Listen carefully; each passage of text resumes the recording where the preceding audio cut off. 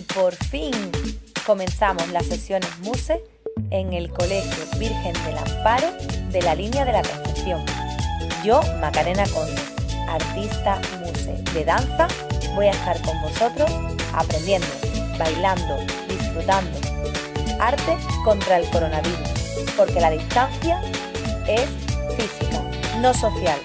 Así que, aunque sea a través de esta pantalla, vamos a estar juntos.